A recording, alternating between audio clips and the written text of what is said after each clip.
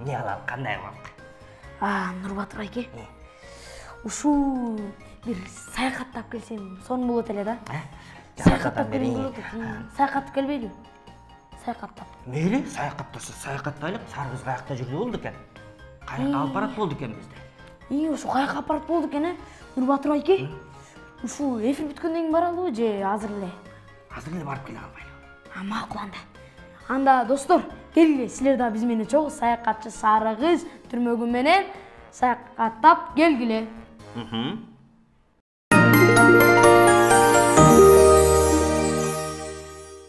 Салам достор. Силер шабдан баатыр атындагы көчө бар экенин билдиңер беле. Биз силерге бүгүнкү саякатыбыздан шабдан баатыр жөнүндө жана анын атындагы көчө тууралуу кененирээк айтып беребиз. Даярсыңарбы? Кеттик анда. Бул кайсы көчө? Шабдан батыр. Шабдан батырдын проспекти. Шабдан батыр. Билбейм. Шабдан баатырдын тарыхый маанисин эске алуу менен чүй проспектисинин мухтар абуэзов көчөсүнөн курманжандатка көчөсүнө чейинки бөлүгүн шабдан баатыр проспектиси деп өзгөртүү боюнча маселеси колдоого алынган. Шабдан баатыр көчөсү негизинен эле жол кыймылы жөнгө салынган. Жалпы маанидеги шаардык негизги көчө болуп саналат. Көчөнүн узундугу сегиз миң тогуз жүз элүү метрди түзөт шабдан баатыр көчөсү учкун тогуздан башталып ауэзов валиханов лермонтов буденный көчөлөрү менен кесилишип курманжандатка жана жетинчи апрель көчөлөрүнүн кесилишинен аяктайт. Шабдан баатыр ким болгон? Шабдан баатыр аны биле албайм. Не знаю. Не знаю. Баатыр чүй кемин өрөөнүндө жашаган сары багыш уруусунун тынай уругунан чыккан манап саясий коомдук ишмер жантай хандын уулу шабдан жантай уулу бир миң сегиз жүз отуз тогузунчу жылы жыйырма тогузунчу октябрда чүй өрөөнүндөгү көк жар жайлоосунда жарык дүйнөгө келген. Шабдан жантай уулу жаштайынан эле саясий турмушка аралашкан. бир миң сегиз жүз алтымышынчы жылдын аягында кокон хандыгынын кол башчысы канат шаага кошулуп ташкентке барган. Узун агачтын жанындагы орус аскерлерине каршы күрөшкө катышкан. Ташкентке көрсөткөн каармандыгы үчүн кудайархан аны түркстан шаарынын беги кылып дайындаган.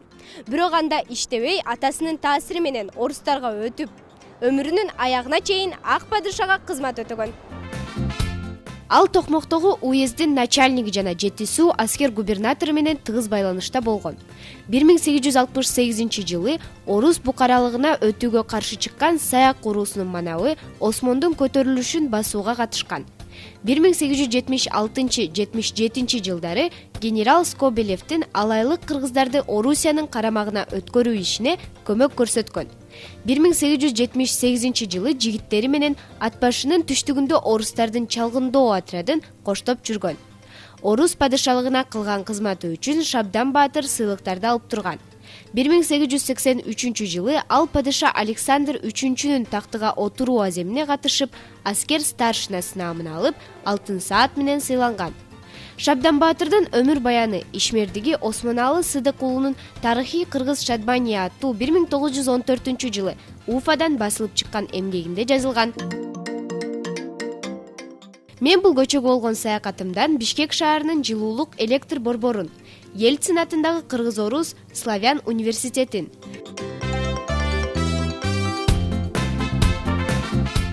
Туризм академиясын.